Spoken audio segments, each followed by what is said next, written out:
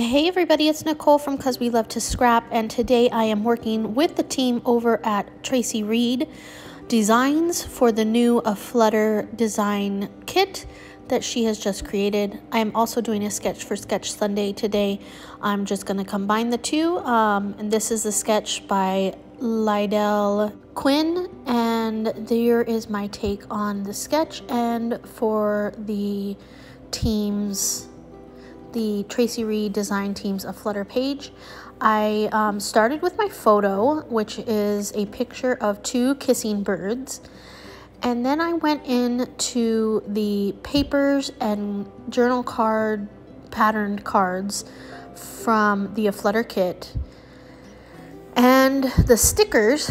And then I um, printed out pretty much all of the coral and green ones that I found that would work on this. Um, I used some florals and um, some other images as well.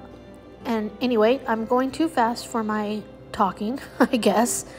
Um, I went ahead and cut out, die cut the picture, and then I'm going to die cut, the journal card that I printed. It is um, like a coral with florals on it and then I'm going to distress both of them and mat it. And I did fussy cut everything. I did not use um, a die cutting machine for that, um, for the stickers and such from the kit. Um, also, I wanted to mention that everyone is playing along with the team for Traci Reed Designs team. Uh, you can find everyone's link below so that you can follow along with what's happening um, on this hop. so um, now I'm using one of the patterned, oh, well it wasn't a pattern paper, it was a solid paper and it was green. And I just printed off a little piece of it. Um, I cropped it down on my sheet and then I cut it out. And now I'm die cutting um, Kissing Bird. I meant to die cut Kissing Birds, but I didn't. Anyway, um, so I'm using a die cut to, uh, an alpha die cut to go ahead and die cut all of those letters. And the first KIS got messed up, so I had to do it again. And then, of course, I have to do some other, I think an I again, or an S, or an N, something. Both, maybe, I don't know. I had to do a couple of times through here. And um, I think I'm done now um, when I go ahead and put it on my layout, I decide that it's, I didn't want to use all of these green letters anyways, and I bring in a green alpha from Pinkfresh, I believe. I believe it's Pinkfresh. And oh, when I was messing around with my paper, I did some smudges from the paint down here in the lower part of it and um, so now I have to go through and I have to cover them up with some of my I thought about using these red letters but the red was too bright for the corals and the reds that were in the kit so I decided not to use that. Here's where I decided I'm not going to use kissing birds. I'm going to use um, just the birds part of these letters and then here's oh yep Pinkfresh alphas that I bring in um, and I'm going to use those to say kissing.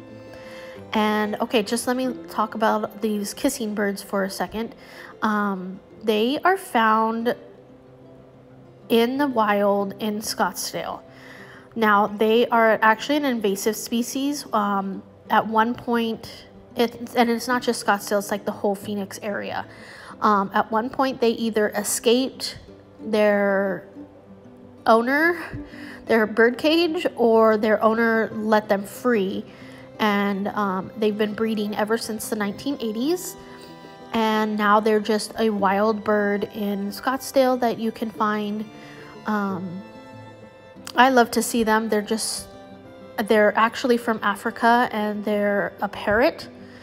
Um, but they like the desert environment and they thrive and so yeah, they um, I love love to see them when I'm out on my walk or if I'm in my backyard.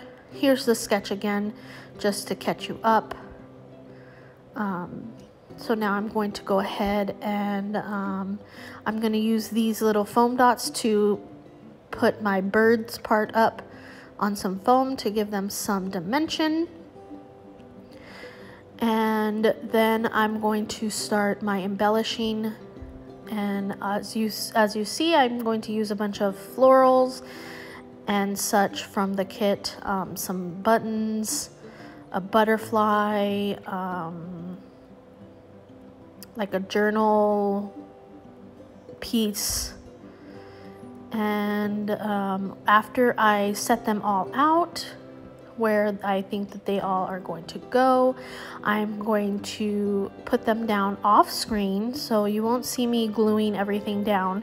You'll just see that I put everything where it belongs and then I um, cut to where it's already glued down. But in the meantime, I do rough up the edges of everything with my fingernail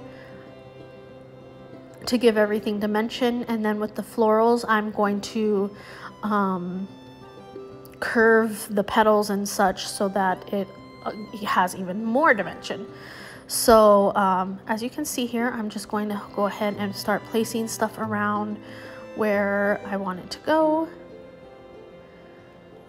And then once I'm done with that, through the magic of movie making, it will all be in place. But I'm still, uh, oh, I, I lost buttons. I don't know where they went. I, I printed three of every color of button and I could only find two of every color of button. So I have no idea. I think I did find one of the buttons somewhere um, since that time, but two of the buttons I still haven't found. So I don't know. I don't know where they are. Okay, there we go. So now everything is down in place. You can see all of the flowers have some um, curled edges and everything's a little distressed. I don't know if you can tell from the video itself, um, but yeah, it is a little bit distressed. Oh, I'm talking on my phone and I forgot to edit that out, but um, don't look. I don't even know what I'm doing here. Oh, this is where I was researching the birds because I knew that they were here and I knew that they were an invasive species, but I didn't know exactly the details of it. So I went on um, a little research trip. So that's what I'm doing here. I'm just gonna researching it and um, figuring out what's up with these birds. And that's kind of a boring part of my video, me doing some research. Um, and this is even sped up twice, so you can see I did a lot of reading very slowly. So there we go, I'm done with my research. And now I'm gonna go ahead and do my journaling.